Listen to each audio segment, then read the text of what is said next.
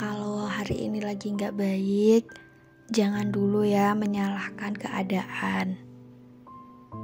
Semakin dewasa, kita harus semakin memahami makna kegagalan dalam hidup. Bahwa kegagalan yang terjadi dalam hidup kita bukan semata-mata karena Tuhan tidak sayang sama kita. Kita harus bisa lebih mendalami dan mulai berpikir bahwa kegagalan yang terjadi saat ini adalah keadaan yang harus dihadapi. Keadaan yang dihadapi ini adalah salah satu keadaan untuk kita lebih belajar sabar dan mensyukuri setiap pencapaian kecil dalam hidup kita. Bukan malah menyalahkan diri atau menyalahkan keadaan ataupun menyalahkan Tuhan. Aku juga pernah membaca sebuah tulisan seperti ini bisa jadi apa yang kamu sukai itu tidak baik untukmu. Dan yang tidak kamu sukai itu malah terbaik buat kamu. Harus kita pahami dan harus kita sadari bahwa Tuhan tuh maha mengetahui. Manusia itu terbatas.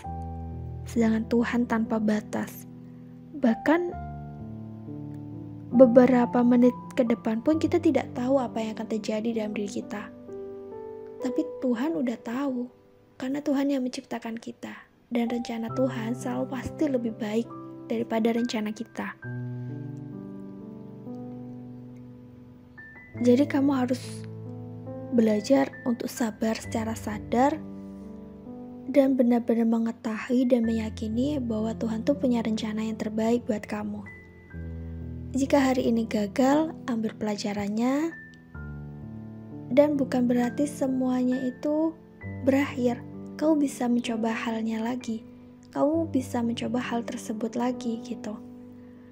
Jadi jangan mudah menyalahkan keadaan, ambil positifnya bahwa ini akan membuat kita lebih sabar dan lebih dewasa nantinya. Kegagalan ini akan membuat kita menjadi manusia yang lebih bijak, lebih tepat mengambil keputusan, dan lebih semangat lagi untuk memulai hal yang baru. Tetap semangat dan yakinlah buat Tuhan itu punya rencana yang terbaik buat kamu.